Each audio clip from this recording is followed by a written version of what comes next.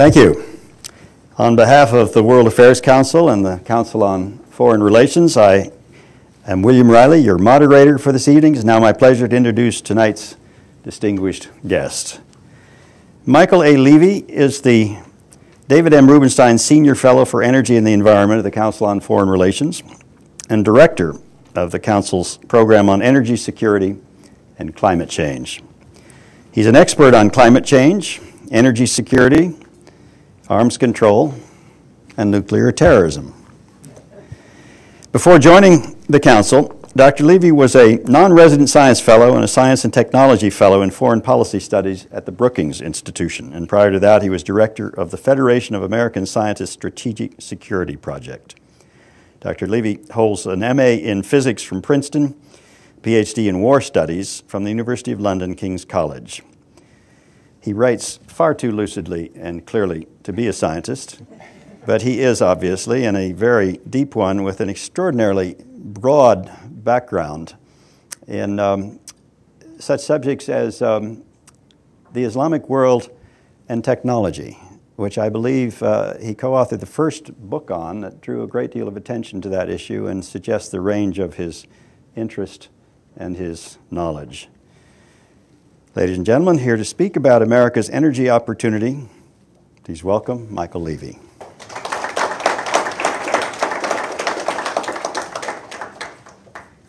In um, his book, The Power Surge Energy, Opportunity, and the Battle for America's Future, he begins, you begin, by looking back at the historical patterns which I had never realized were so um, clear of periodic anxiety about America's running out of oil. And the first that he cites took place in 1909. And at 20 year intervals, we have seen similar anxieties raised by serious people with uh, statistics, analysis, and, and strong arguments. The present moment, you argue in the book, is different. What's different about this moment? And if it is different, is this just the trough before we get to another peak of anxiety about peak oil? It's fascinating how we go through these cycles of anxiety about oil shortage and then excitement about abundance. Uh, I actually have a small map sitting in a corner of my office issued by the U.S. Geological Service in 1909 showing all the oil left in the United States.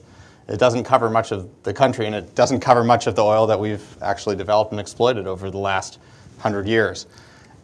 Right now, we do have this extraordinary period of excitement about American oil abundance.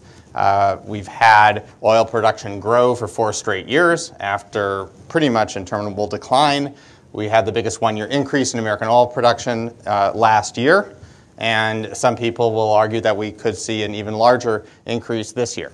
Uh, and so it's important to think about what the world looks like and what the US economy looks like and how we think about the environment in a world where US oil production is rising. But I think it would be unwise to swing far the other way and say we are awash in oil. The, word the word awash is very popular these days. Frankly, I don't quite want to be awash uh, in oil. It's, a, it's, not a, uh, it's not a perfect image. Um, but more to the point, oil is still expensive.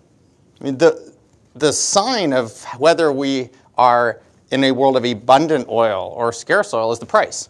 And the price is still pretty high, which has consequences for the economy, for security, uh, and beyond. So we are facing less of a picture of scarcity than a lot of people thought five years ago. But I don't think we should be switching to a view where we say oil is everywhere and we don't need to think about it in uh, some of those ways that we did before. And the gas price, while the oil price remains high, is quite low. How do you explain that? So, oil is traded on a global market. It's very cheap to move from one place to another. And so when you add production in the United States, it's still diluted in a global market. Uh, in part, uh, US increases are offset by uh, slower growth elsewhere. Uh, you have continuing pressure from rising consumption in the developing world, particularly China, but beyond. And so that all works together to keep oil prices high. Natural gas is a different story. You have uh, fairly balkanized world markets. It's expensive to move gas from one part of the world to another. Uh, if you want to move natural gas from the United States to other parts of the world, you have to liquefy it, uh, ship it, and then turn it back into a gas. Uh, that process costs more, uh, considerably more, than extracting the natural gas from the ground in the first place. So we have a pretty isolated market here.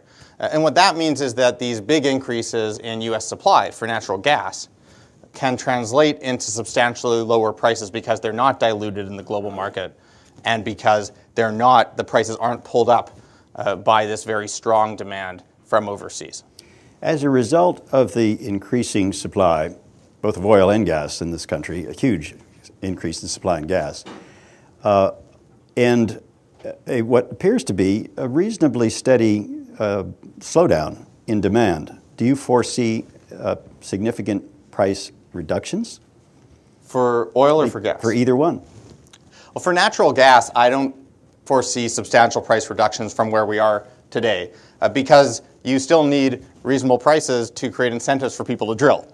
Uh, last year, we saw natural gas prices plunge because people were drilling in uneconomic places. They were drilling because they had leases uh, on properties that they were going to lose unless they put a well in and produced. And that rush to develop uh, led to extremely low prices, and those low prices knocked out additional investment in natural gas, and the number of rigs working in natural gas went way down. Uh, so it's hard for me to see substantially lower prices than today in natural gas. Uh, what we are seeing today is substantially lower prices than we would have otherwise had, had there not be these strong gains in the United States. Uh, oil is more complicated. If I were a betting person, I would say that we're not going to see radically lower oil prices. I don't think that you can have sustained prices at far lower levels than today on the back of gains in U.S. supply, again, for the same reason. Uh, because U.S. supplies are relatively expensive, and if prices are too low, they go away. You can't use you can't use expensive oil to keep the price low for an extended period. Uh, but the oil market isn't stable; it doesn't move in smooth ways, and I could foresee a situation in the next five years where you have a plunge mm-hmm. for a year or two.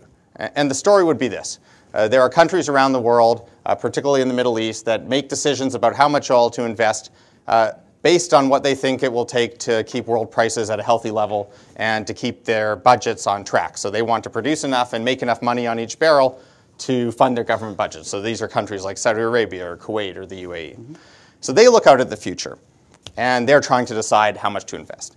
They see these big gains in Iraq that are a surprise compared to where we things, thought things were heading a couple years ago. Uh, they see relatively slow growth in demand compared to where people expected things to be. And at the same time, now they see these big gains coming not only from Canada, but also from the United States. And they have to ask will these continue? In which case, we should invest a bit less to make sure that the world market isn't flooded. Uh, or could they taper off? In which case they'll continue to invest more and build their own production capacity.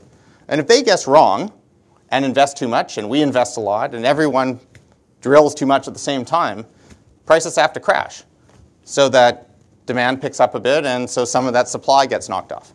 And that works its way through the system, and you stop producing as much, and prices come back up. But in the interim, you go through quite the roller coaster. And that has consequences for producing countries it has consequences for consumers. It would have consequences for the various communities in the United States where we're seeing these big oil production increases.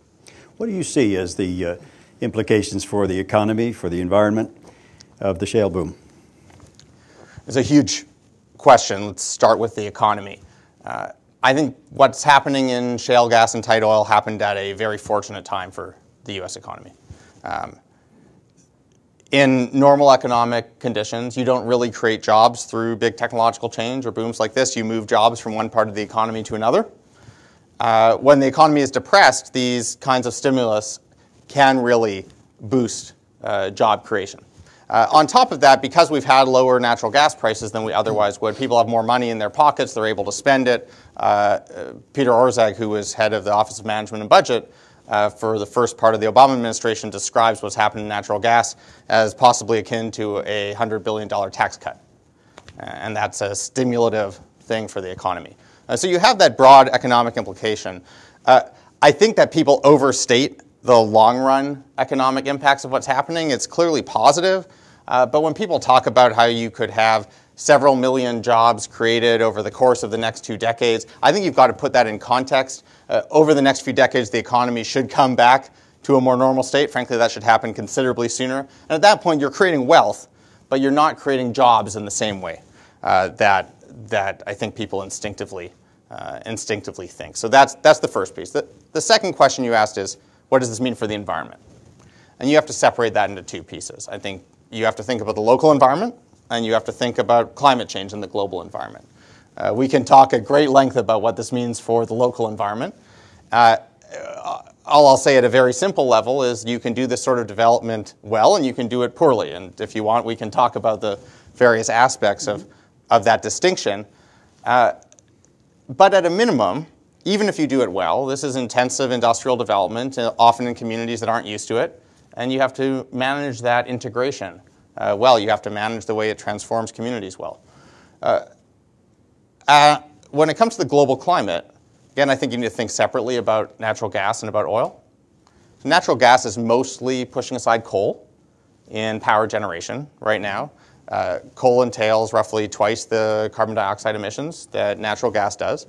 And so you are reducing emissions as a result. We've seen deep reductions in U.S. emissions from a combination of a slower economy, uh, renewable energy penetration, and natural gas displacing coal, uh, particularly last year.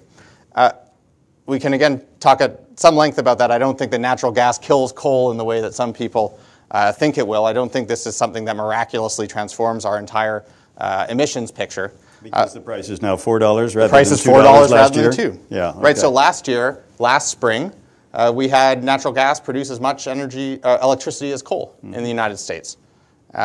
If you look at the Department of Energy's, for, so we've now fallen well below that. If you look at the Department of Energy's forecasts, they don't foresee us getting back to the same level of natural gas generation for roughly 10 years.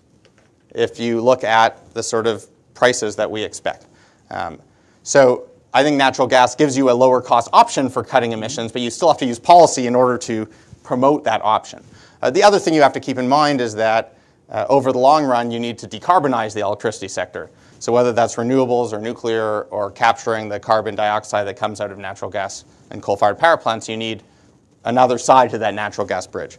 I think oil is a tougher story on climate change. I don't think you can cook up any argument that says that more oil production is a good thing for climate change. I think what you have to ask is how much climate damage does increased U.S. oil production do?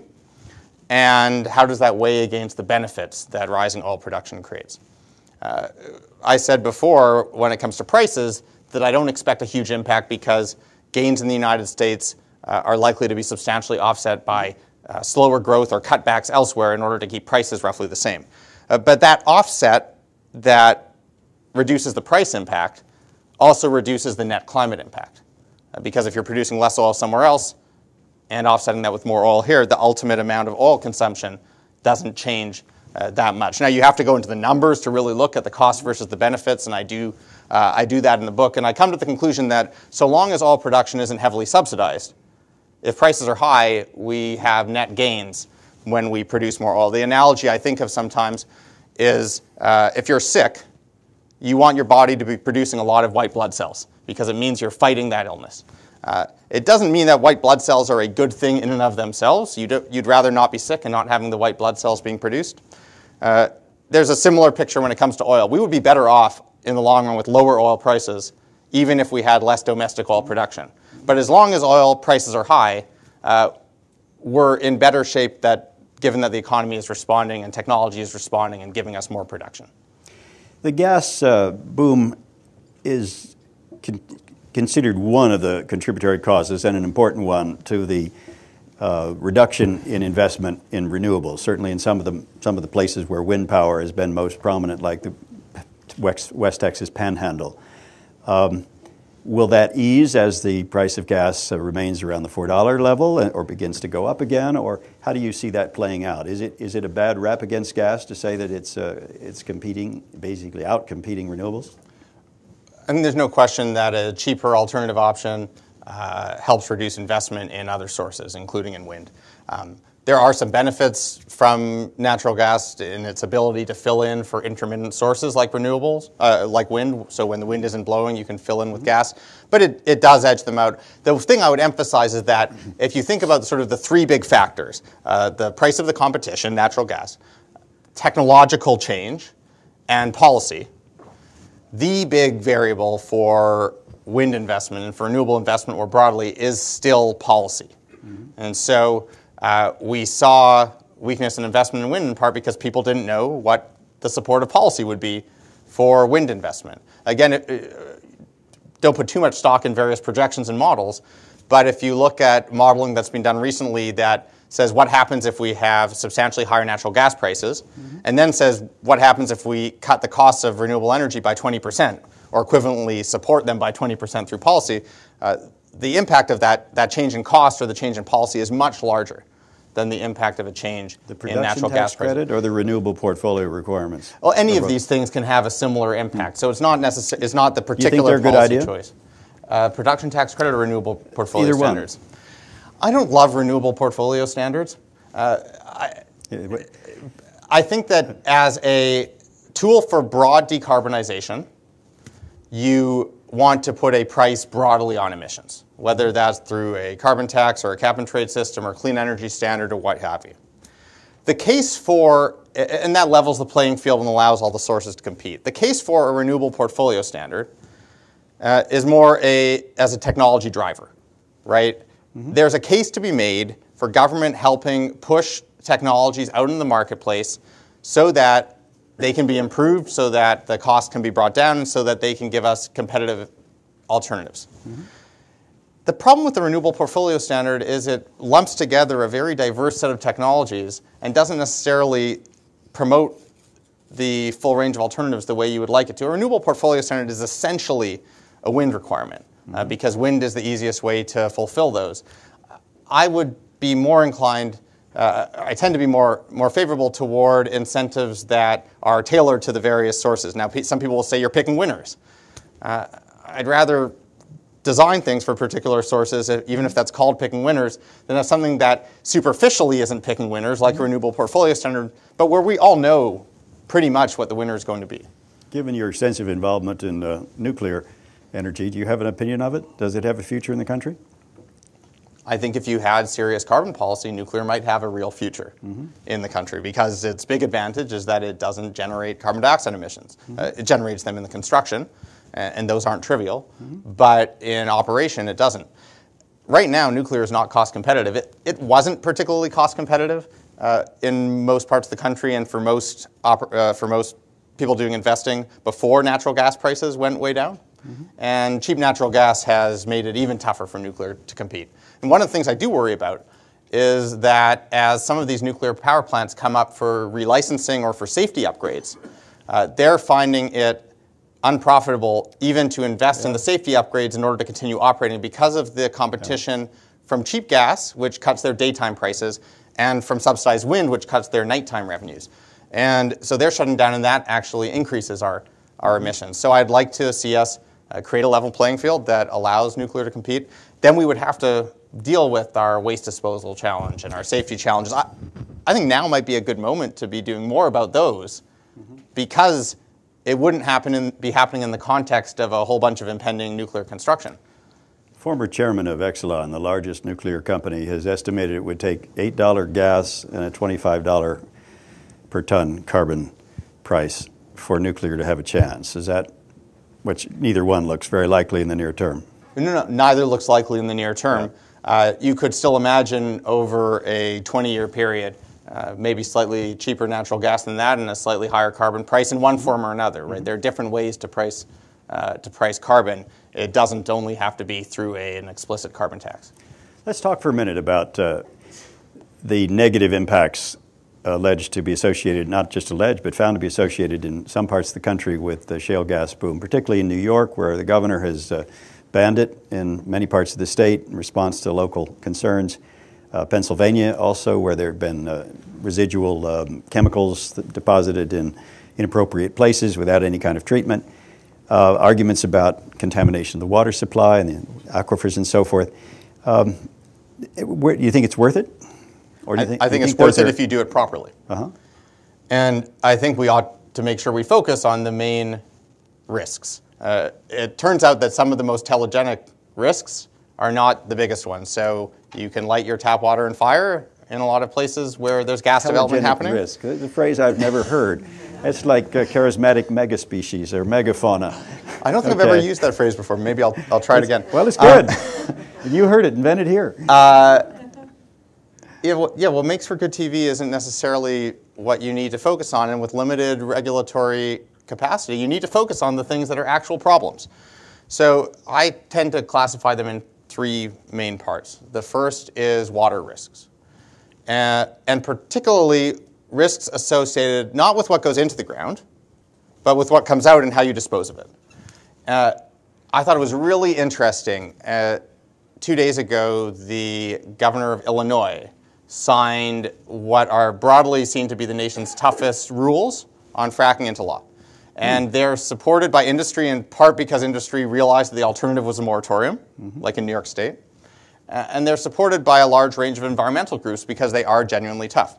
And one of the highlights of the rules is that wastewater, uh, before it's processed and disposed of, has to be stored in above ground tanks rather than in some of these pools that are built into, into the ground.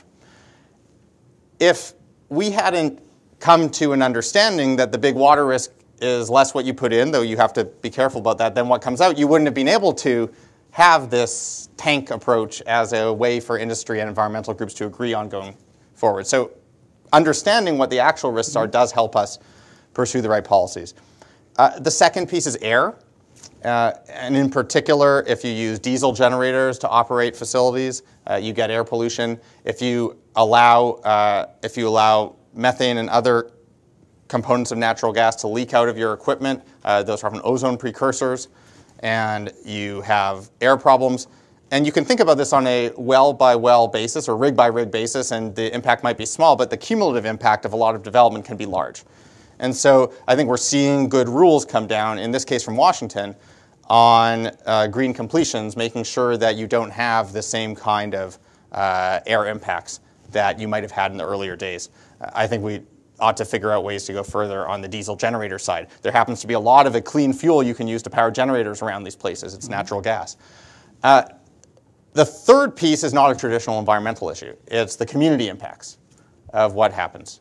Uh, if you think about what happens in a lot of these places where development hits, you take one slice of people who get very rich very quickly. Another segment that does all right because they're either working on the industry or they've got a hotel or a restaurant or some other way that they're benefiting. There's a third segment that either is or feels threatened um, because of the reputation to the area. Let's say they're in the food business, uh, or uh, they're on fixed incomes. And a lot of these places are afraid of uh, a boom and then a bust, and so they're not investing in new housing and new, and new uh, infrastructure, and so you have a lot of cost inflation. And those people end up getting hurt. And so you have to make sure that you integrate development properly with the communities, whether that's having the right severance tax so you have revenues that help the community more broadly, whether it's having community college courses so that not all of the high skilled employment comes from out of state. I mean, these are not easy things. You don't just have a rule in Washington that says, here's how you do it. Uh, this is one where each community and each state needs to learn from the experience in the others. So the industrialization of the countryside is just uh, an inevitable byproduct. All the trucks that are going to be hauling the water in and the and the fuels out, um, and uh, that's got to be accepted. But there's you you can adapt the system so that the methane releases that have been a concern are controlled for, and, and the water as well. I would assume. Well, so I would say two things on, on that. So first, there are some steps you can take to reduce the truck traffic and, and, and to reduce the number of excess wells. A lot of this still is fairly blind. If we had better understanding of the subsurface, if we had uh, more integrated water infrastructure, we could drill fewer uneconomic and environmentally problematic wells and reduce and reduce water flows. And more broadly, and this is a place where, where I continue to be ambivalent. Um, my inclination is that a lot of the decision making should rest at the local level. Really? Um, You'd- leave it at local option? at a fairly local level. Mm-hmm. I think uh, if you spend time in these places where people are fighting over what's happening, I think it's hard to say that someone in a distant place should say the, pla- the, the area where you live uh, must be transformed because someone wants Mm-hmm. to make money producing natural gas. Um, now, the argument you It's- hear from That's even acknowledging that we got subsurface ownership rights in, in the country. Right, so, So, uh, so well- the fellow that owns the, the shale gas in a community where Right. that's not popular uh, Right, does- so- doesn't get to do it. that's my that's my inclination. Mm-hmm. Uh, the you know in New York State, what we've talked about is having a sixty percent threshold Mm-hmm. for uh, one way or the other, either you're in or you're out. The argument you hear from industry is that if you do this, you'll create a checkerboard of sort of red lights and green lights that make it uneconomic to develop anything. And in a, in, in a sense, uh, one area saying no would be making a decision for another area um, a spillover decision for them. I would actually love to see better analysis. I don't think we have good analysis of how these kinds of decisions would actually change the economics of the industry. And I'd like to see uh, better analysis of that. I think we could make better decisions on this balance between local and state control.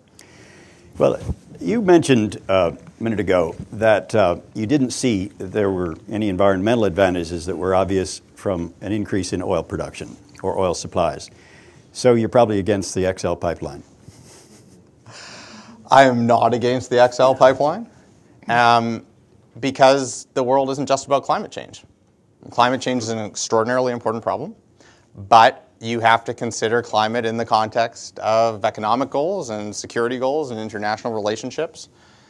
I wish the XL pipeline had not become such a signature issue for our debate over climate change. I think the climate impacts are small. The economic impacts are small as well. The security impacts are small. I've testified that I think that the benefits uh, of allowing it to go forward likely outweigh the cost, but I don't think any of those are particularly large.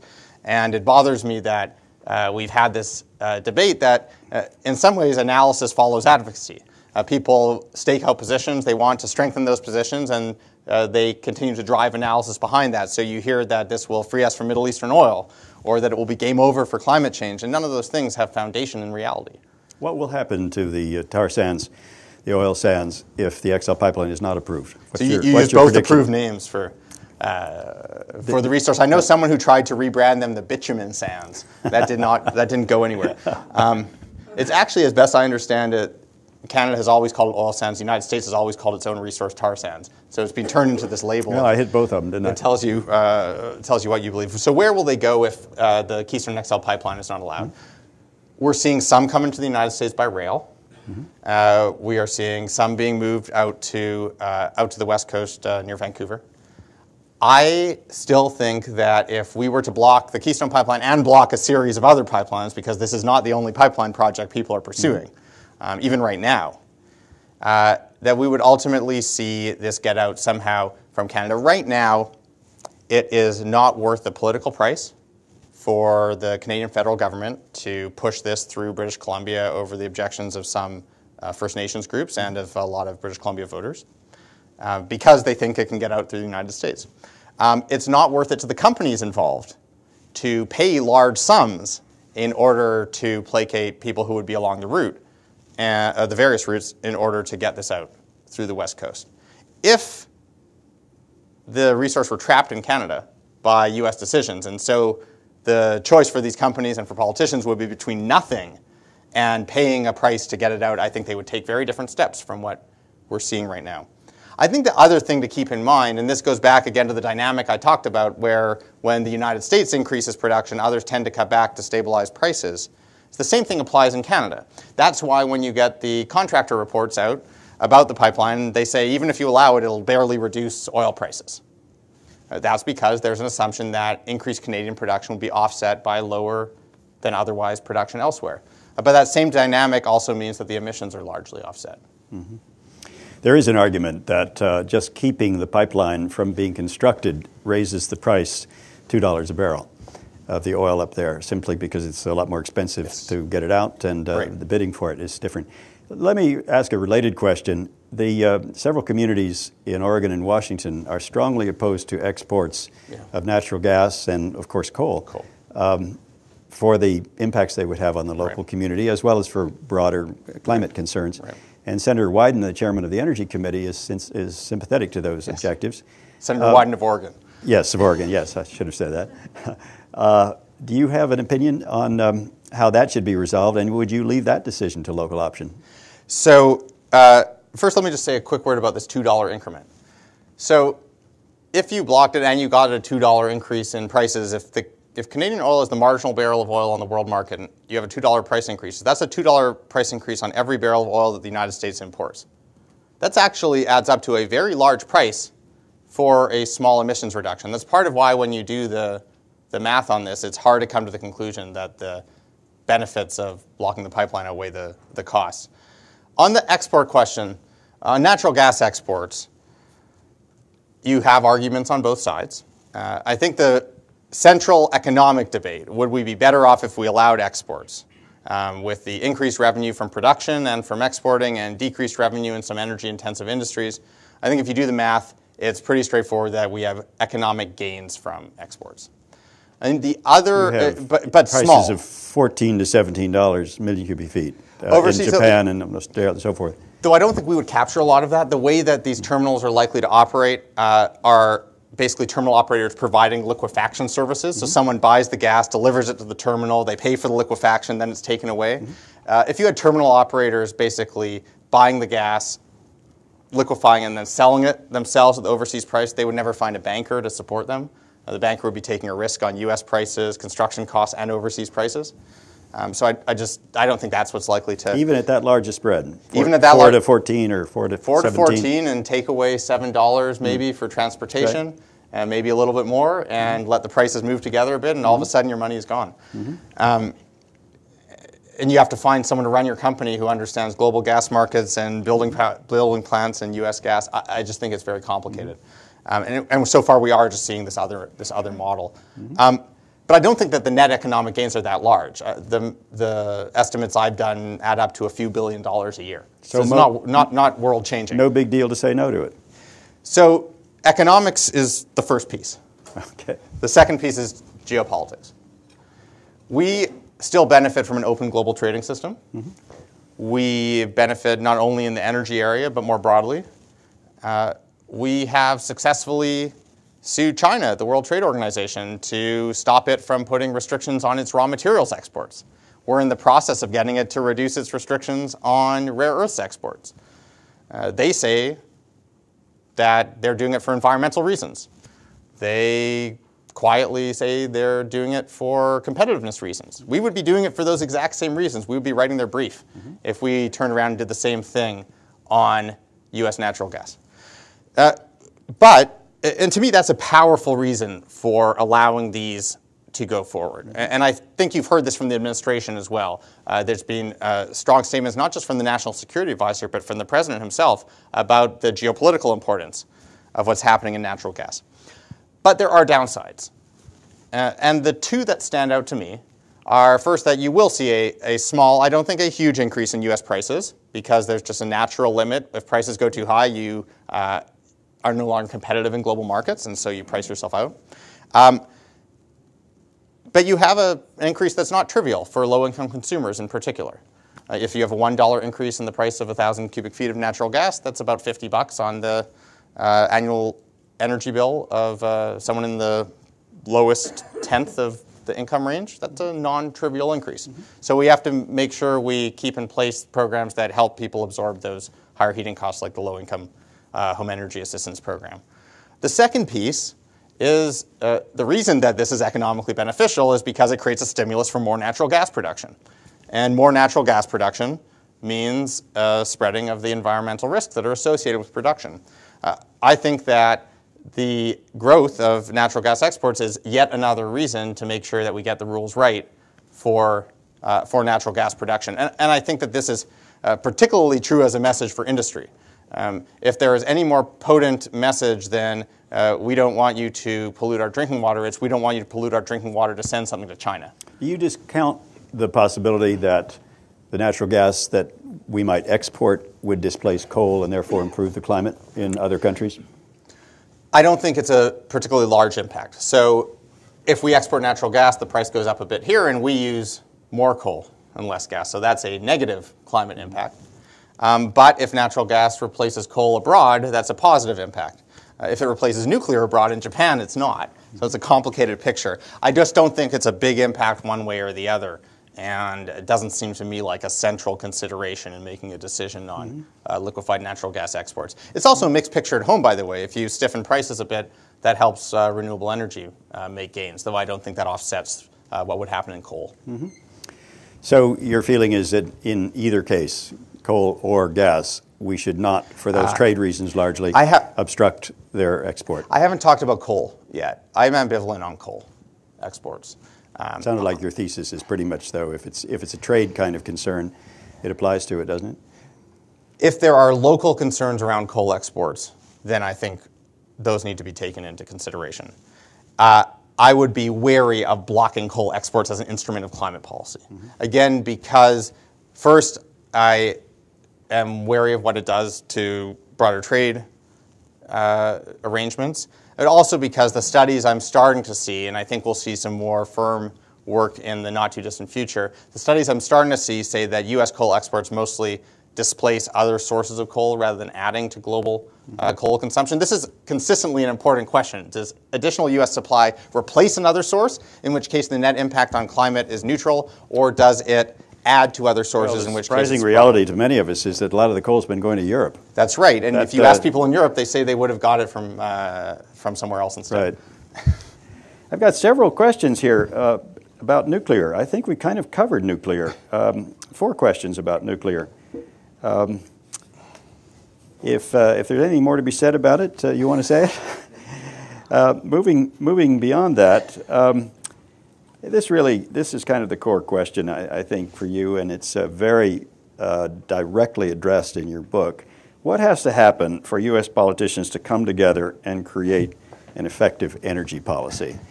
How do, how do you draw all of these strands together? So, what I think you don't do is come up with a grand national energy plan uh, or at least you don't try to, because if you try to, you end up not getting it. Uh, and the first thing you need is a basic understanding of what should be tolerable to each side. I don't think you ask for people to get to a place where they all agree on all of our objectives and on exactly what they want. Um, but if we got to a point where the natural gas industry understood that climate policy would be good for them because it would increase production, and if uh, uh it increased demand for their product, um, or if people focused on reducing oil consumption understood that a trade that increased production and pursued more aggressive policy on consumption would still be a net positive for them, for security, for the economy, and for climate change. I think if people understand that those trades are actually substantively possible, that's the first step. Uh, the second thing I think needs to happen is we need to uh, gain some more experience in cooperating. I mean, uh, you were involved in uh, and a lot of efforts to bring together people over, uh, not just over the last decade, but, uh, but past that. Um, in the last decade, if you go back 10 years, people actually started to do some of these things together. 2005, 2007, we had bipartisan energy mm-hmm. legislation. In 2008, the two presidential candidates fought over whose cap and trade system was better. That would be kind of a wild thing to have happen today. Um, so I think we need to. Uh, you know, we had the United States Climate Action Plan, which fell apart. Right. Partnership. So a lot fell apart. Mm-hmm. Uh, it uh, encountered pretty rough circumstances. Mm-hmm. Uh, I think you need to build up that habit of cooperation from the ground up. Uh, I talk about a few different ways you could do that in the book. One of the ones that I find interesting is a variation on what the president has proposed as an energy security trust, where you would take some of the money from increased leasing for oil and gas and devote it to supporting technological innovation in alternatives to oil and reduced oil consumption. What I found extraordinarily frustrating with the reception to that is, again, people have fixated on whatever the downside of that deal is to them mm-hmm. rather than on the upside. So you see, uh, I'll just give one example, you see the Heritage Foundation, which has talked for years about how extraordinarily transformational oil and gas production would be for the United States. Now saying that if revenues from that increased production are used to spend 200 million bucks a year on innovation, it's not worth it because that's a waste of government money if something is radically transformational, it should be worth it even if you take that $200 million and you burn it in a fire somewhere. Mm-hmm. Uh, and you can, you can run the argument uh, you can run the argument the other way for people who are so enthusiastic about innovation and all of a sudden they'll say, well, it's not worth it if we're going to have a little more oil production. People would do better if they focused on the net value to them rather than on making sure that every piece of a deal was exactly what they wanted. Are you uh, a supporter of, of the various investments that the uh, Obama administration has made in energy innovation, energy research, energy uh, uh new electric vehicles, and so forth? I think it's been a mixed record. Uh, so, firstly, I'll say again, I'm worried that even some of the areas where there's broad agreement that they have been successful are becoming targets for political fights. So, uh, ARPA-E, this uh, mm-hmm. Advanced uh, Energy Research Projects Agency that looks at early stage, uh, fairly high risk uh, investment supported not only by the president by, but by Governor Romney during the campaign last year, mm-hmm. Uh, funding slashed by the House. I don't think it'll end up like that, but slashed mm-hmm. in principle during the last week. Uh, that's not, uh, that's not the kind of place we should be going after. I do think that combining the stimulus with the big green energy push uh, in some places was uh, not the thing that should have been done. Uh, try, the goal of trying to get money out as fast as you possibly can is not uh, compatible a lot of the time with trying to drive the changes that you want in the energy world. Mm-hmm. And so I, I hope we can step back and rationalize some of this. What I would like to see uh, though I'm not particularly optimistic for it in Washington, is some kind of an independent uh, organization. Some people will call it a green bank, but you can uh, think of it a different way, in different ways that has some independent governance, that it has its own capital, and that can invest in a variety of different ways uh, that are appropriate to the technologies being pursued. One of the problems we've had is that we have one tool, loan guarantees, that we try to use for pretty much everything, even though even if the uh, you know, company or technology developer mm-hmm. involved does not need a loan guarantee maybe needs some equity, maybe needs a different kind of support. Uh, so I'd like to see us uh, be more flexible. We're seeing uh, something along those lines being uh, tried out in Connecticut. Uh, it'll be interesting to see how that works out. Mm-hmm. We may be awash in oil. Do you ever foresee a day when we, the USA, becomes totally independent for its energy without the use of so much oil? So we are seeing these colliding trends of less oil consumption, more oil production. Uh, I think a lot of, despite the headlines that focus only on production, we've had as big of a decline in oil consumption since 2005 as we have had an increase in oil production since oil mm-hmm. bottomed out in 2009. So, uh, or 2008. So we're seeing both of those trends coming together. I find it hard in the next 10 or 20 years to imagine the United States producing all the oil it consumes, even if you pull those two trends together. Uh, I think that eventually that could happen. And I think that in the next 10 years, and you've seen projections to this effect, that North America could produce all the oil that it consumes through a combination of less use and more production. Uh, what I don't like about the discussion we're having about that is that we keep calling this energy independence uh, when it wouldn't actually produce independence in a meaningful sense. Uh, we would still be vulnerable to shocks that arise from events on the other side of the world our economy would still be hurt, and so we would still think about the consequences of actions everywhere because of how they would hit our economy. Uh, that to me is not independence. And so uh, I'm wary of, of, talking about it uh, that way. I think in the long run, you have to severely cut your oil consumption in order to really make yourself more resilient to these gyrations in global markets, whether they're from economic sources or from geopolitical forces. Seems to me there's a scenario where we continue to find shale gas and co-located liquids. Europe eventually figures out how, how to do it too, at least Eastern Europe. Uh, we know Russia has a substantial amount of shale uh, possibility. Um, China has it. Argentina has a, some very near, near our quality, a great deal of it. Mexico has it, and now the new president of Mexico is looking to privatize and to do something about the fact that their energy company has not been very productive or efficient. Um, but if you, and Canada, of course, is, is, is a big player. If you see that supply uh, surge coming on worldwide as other countries figure out, and we're teaching them how to do it to, to get the shale gas, um, and then you posit United States with the, with the new um, 54.5 mile per gallon uh, fuel efficiency requirement the Obama administration has negotiated, we're going to have a 2.25 million barrel per day reduction in demand. Europe's going the same way. If China begins to get not independent, but to produce more of its own requirements, that will reduce import. That, aren't we going to see a decline in, in um, price and um, a significant change in the, in the energy economy worldwide, at least so the oil economy? Well, so gas would have to penetrate the transport world, the world that's traditionally dominated by oil, in a big way for that to happen, right? You see these large and principal shale resources in China. Well, why would it though? Because oil is coming up with it, and we've already seen an increase in our oil production as well. We've seen an increase in our oil production, uh, though more from, uh, increasingly more from tight oil. It's not just co-located with natural gas, but it's mm-hmm. its own oil production. I think we're barely starting to understand the oil potential in the rest of the world that uh, can be unlocked through these techniques. We saw a Department of Energy report last week mm-hmm. that I think uh, says the U.S. is in a more uh, unusual position when it comes to oil, though others are still uh, are still producing. Uh, so the question is, why won't we have ultra low prices at some point because of this? Again, the problem is that this is relatively expensive stuff to produce. Mm-hmm. And you cannot sustain low prices with expensive production.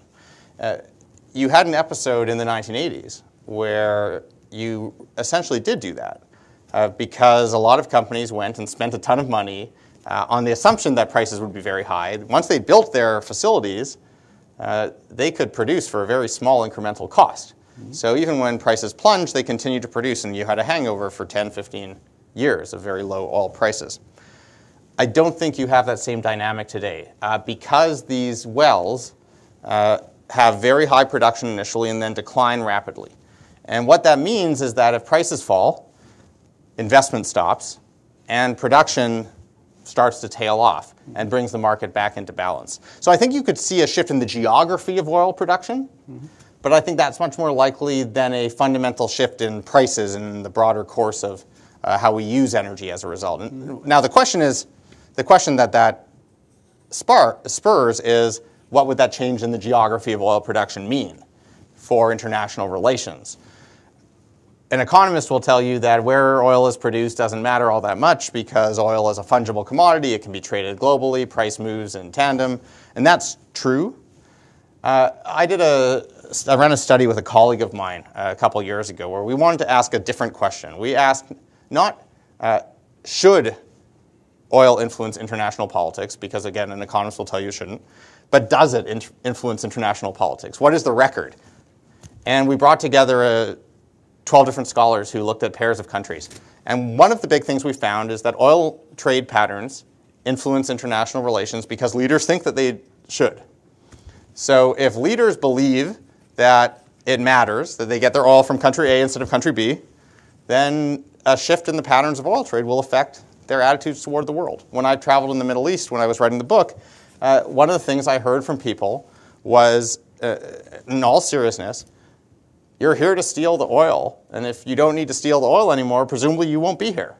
Hmm. When you talk to people in China, there is a real fear that the United States will no longer police the sea lanes that allow it to buy oil from the Middle East. And again, uh, the National Security Advisor and the Assistant Secretary of State for Energy can all go out and give speeches saying we're in it for good, we're going to keep the sea lanes open, we're going to try and promote stability in the Middle East. Uh, but if others don't believe that because of the shifting geography of oil production, then they invest in aircraft. Then carriers. they invest in air, exactly. They invest in aircraft carriers and in diplomatic relationships and in economic ties to solidify those, and they have a life of their own, mm-hmm. regardless of that underlying logic. Well, then let me ask you here: What is the relationship between our national energy policy and national security? It's a short question with huge implications. Yeah, that's a. Very, very terse question. there are a lot of different pieces to the, the relationship. Everything from how our energy policy affects climate change, which has its own national security consequences, to what it means to shift to clean energy sources that have their own resource dependencies on things like lithium and cobalt and rare earths. And I talk about a lot of that um, in the book. Let me talk about something that we haven't discussed yet, and that is the geopolitical, mm-hmm. geopolitical consequences we've already seen from what's happening in natural gas. We have this fixation on a debate over exports. But the biggest impact from abundant US natural gas is something we've already seen. It's that we're not importing it.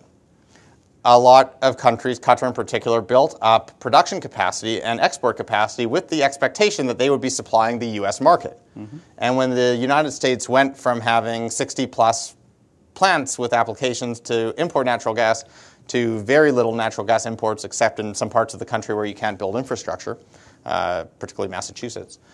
Uh, you had these countries having to decide what to do with their natural gas. one of the things they did was put a lot of it into Europe.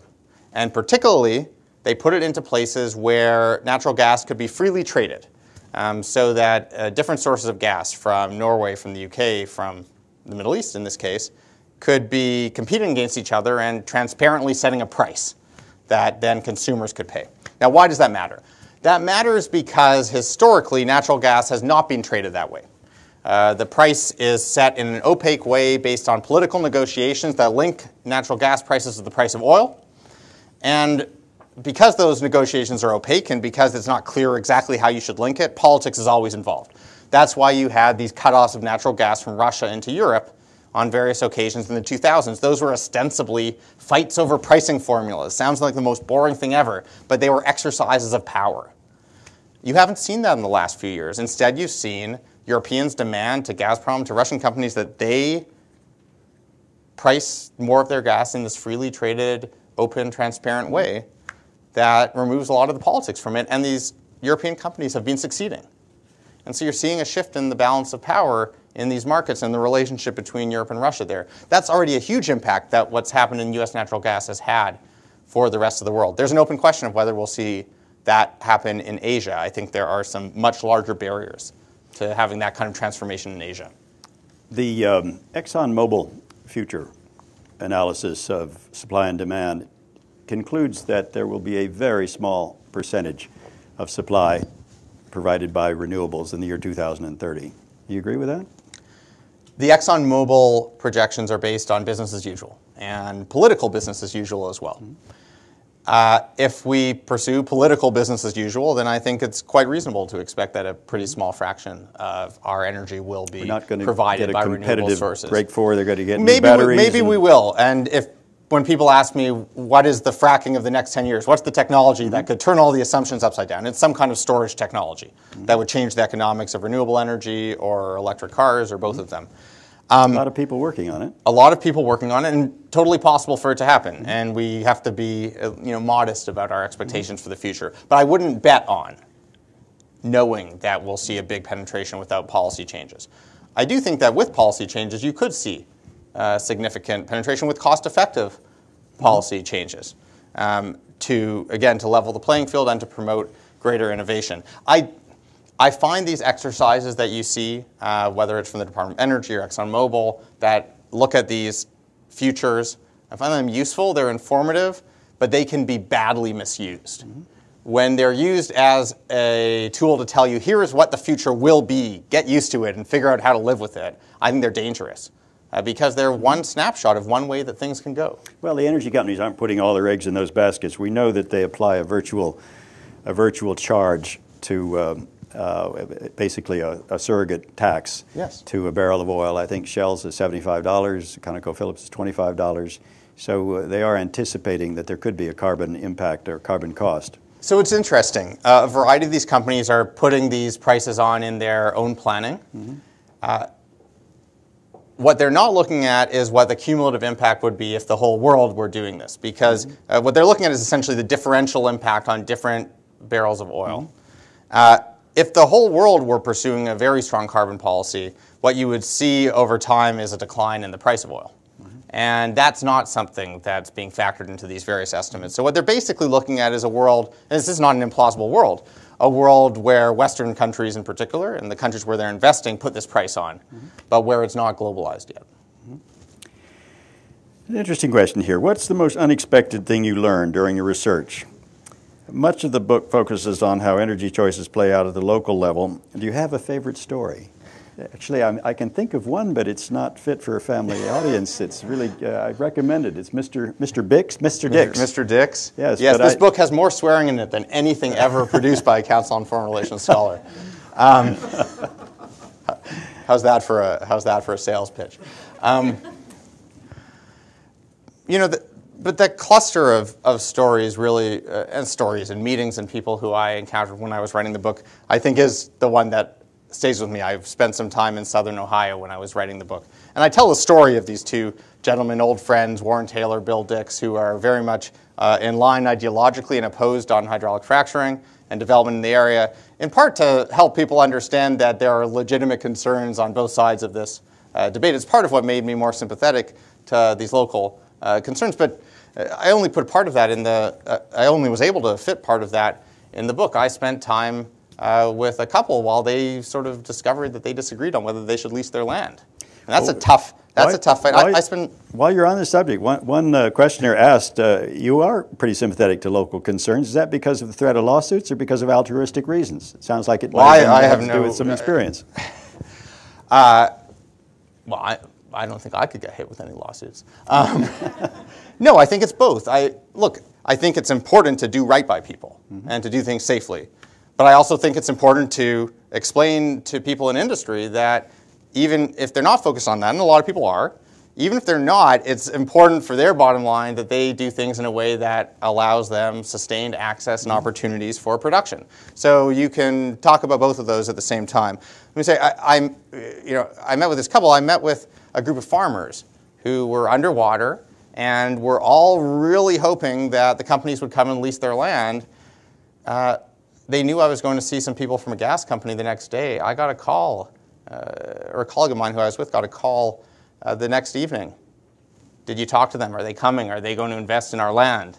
And they, this is really this is make or break for a lot of these people, and and that that really drives it home. I'll tell you the other piece of the sort of the wandering that I did that I really enjoyed, uh, and this I'll, I'll betray my I'll betray my interest was not only through the United States but also uh, trying to understand what we really know about energy, trying to understand what we figured out in the four decades since the first oil crisis about how bad price spikes actually are for the economy, trying to understand how oil trade really does affect international relationships. I mean, those are sort of virtual tours of, of things, but, but I find those fascinating as well. Will Arctic resources make any difference to the uh, energy economy? I think in the short run, uh, and you know this better than I do, we're seeing significant uh, challenges for Arctic development. Um, and I think when in applying prudent environmental rules, we're finding that companies can't move at the pace that they would have, have liked to. And that's fine if we can't comply with the right rules. We're, uh, we shouldn't be going uh, gung ho ahead. I think over time, if prices stay high, uh, you're going to see increased development in, uh, in the Arctic. And frankly, as Arctic ice melts and makes uh, development more economic uh, in the area. Uh, this is one of these sort of uh, awful ironies of what's happening with climate change.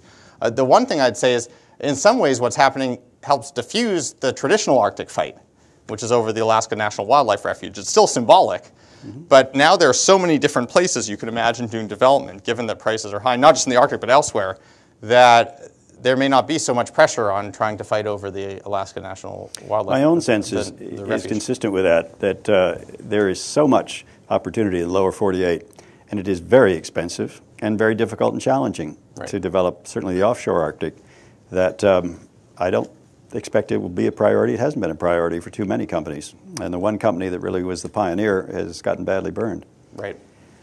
Carbon sequestration, is it um, a serious possibility?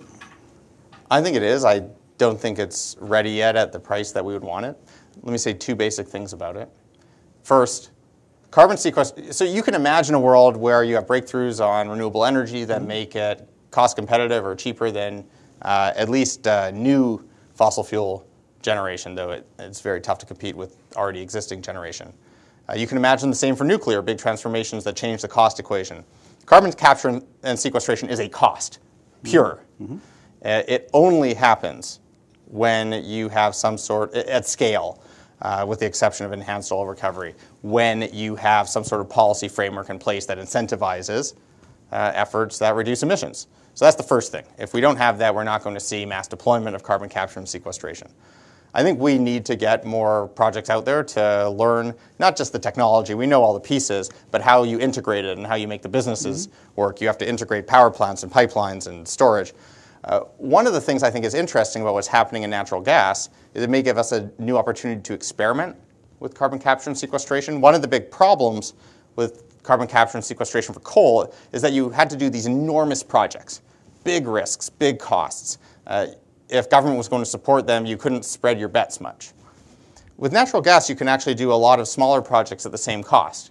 Uh, that might be a better opportunity to learn from experience, to innovate, to uh, develop and bring the technology a bit down the cost curve so that it can become uh, uh, more valuable. But I'll say broadly, I think we need to be encouraging progress in renewables, nuclear, and carbon capture and sequestration precisely because we're bad at predicting the future and we know we're going to need zero carbon options. Final question, Michael. We're running out of time. Um, what is in it for an environmentalist? What's in it for an oil industry executive to cooperate with the other in coming together as you suggest? If you have a future, at least for the next 10 or 20 years, where you have higher oil production, higher natural gas production, lower oil consumption, lower greenhouse gas emissions, and greater penetration of renewables, then there's something in it for each of these players. If they're focused only on what the other side gets, then of course they should be against it. And I'll say in the long run, to be very clear, in the long run, if you're really slashing emissions, that does fundamentally change the picture mm-hmm. uh, for fossil fuels. And, it does fundamentally change the picture for oil. But if you're looking at the coming decades, it, these pieces really are compatible with each other if you pursue them in, uh, in the right way. But what would be in it for the various sides would be the willingness of the other to give them a bit more of what they want. Mm-hmm. All right. On that note, good luck with that, by the way.